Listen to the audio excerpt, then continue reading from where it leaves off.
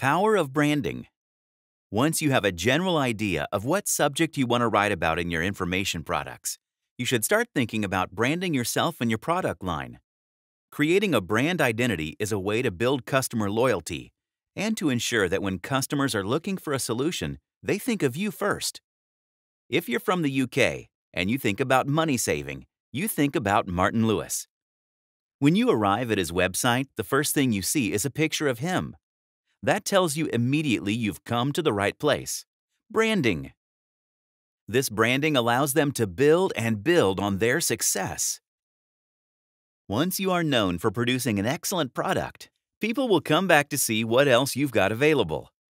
And when you create a list of satisfied customers and notify them that you've got something new, if you have established a brand for yourself, they are much more likely to want to purchase it. To create a brand identity, it helps to have a consistent visual theme for your web endeavors, a similar design or color scheme for your website, your ebooks, your short reports, etc. If you don't have any design skills, no problem.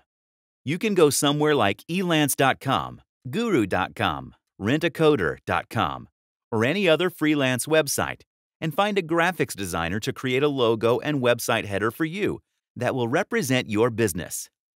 You don't have to get any fancier than that. People aren't looking for fancy website design when they land at your website. They want to know that they've arrived at the right place and will be instantly reassured when they see your familiar looking banner. Then they want the information that they came here to find how to save money with coupons while shopping at grocery stores, how to litter train their cat, how to flatten their abs, etc. And they want the site to be easy to navigate. They don't want to have to hunt around to find what they're looking for. So all you need to help establish your brand identity is a custom designed banner and logo that visually tells the customer at a glance what you and your products are all about. You can adapt that logo and banner and use some version of it for all of your products.